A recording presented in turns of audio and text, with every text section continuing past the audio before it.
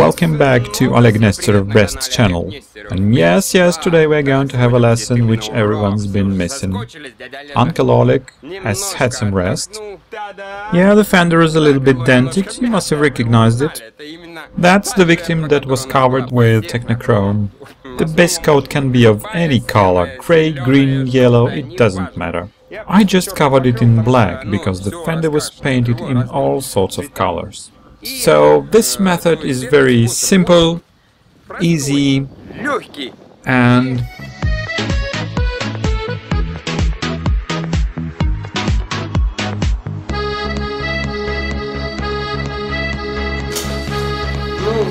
Well, the painting technology itself does not present any difficulty, and it's basically the same as painting any car.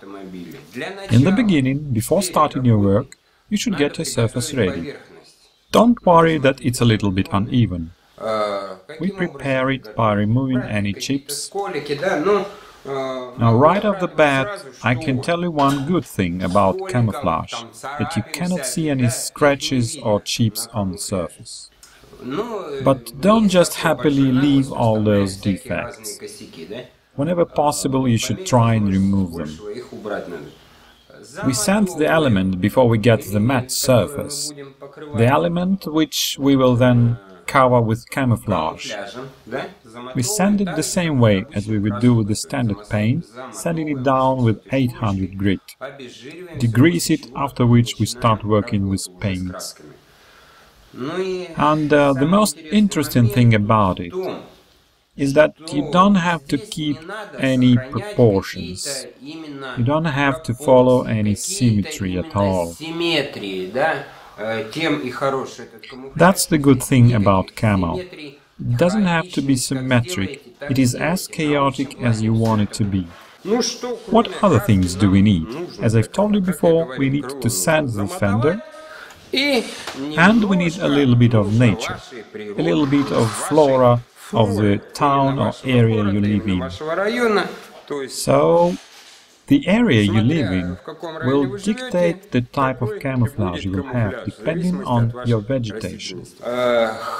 I wanted to get some fern, but to get it, you would need to go far into the forest. I found this plant. The plant can be of any kind be it leaves, grass, straw, whatever you want. And now I will show you the principle itself. I got the fender ready, making its surface black and matte. There is a little bit damage on the fender, but I didn't even try to make it even. We degrease everything and start covering.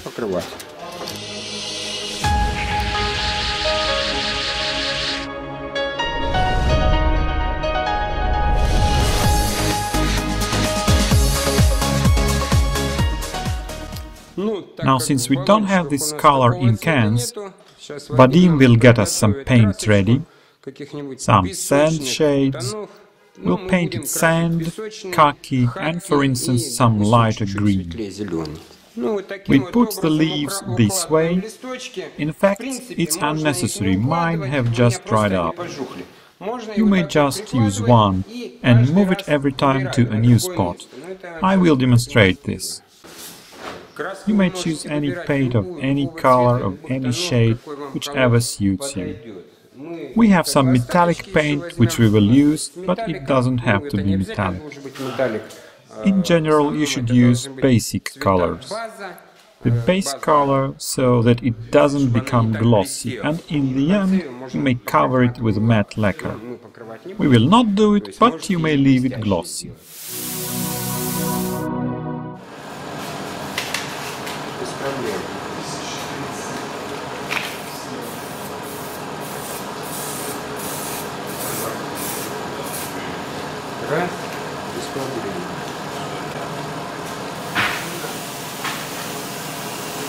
The pressure is high, but you may decrease it and continue.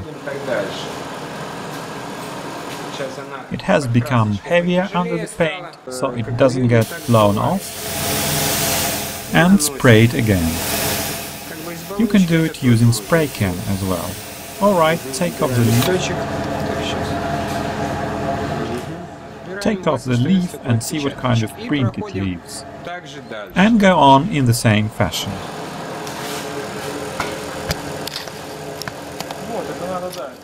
That's it, you make one layer, and while it's still wet, you put it back on.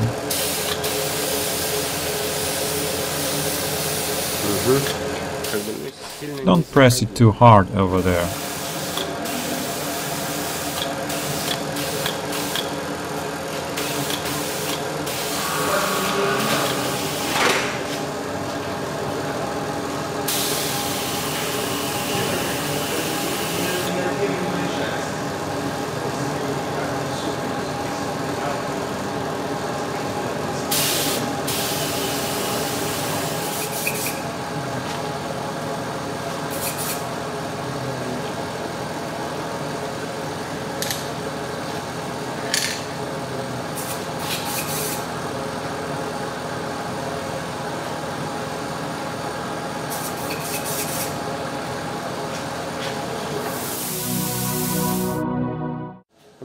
Pay attention to the fact that you will not only notice any chips here, as you can see everything is damaged here, but you can't really see there is a dent.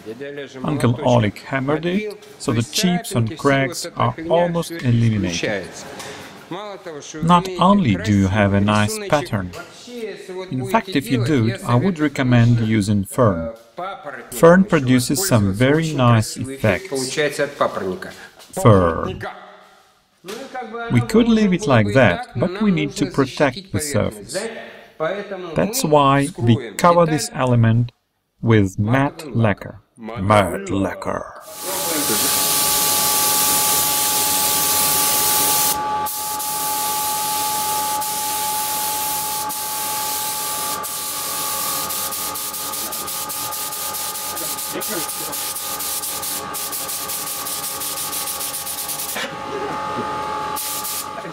Now let it dry.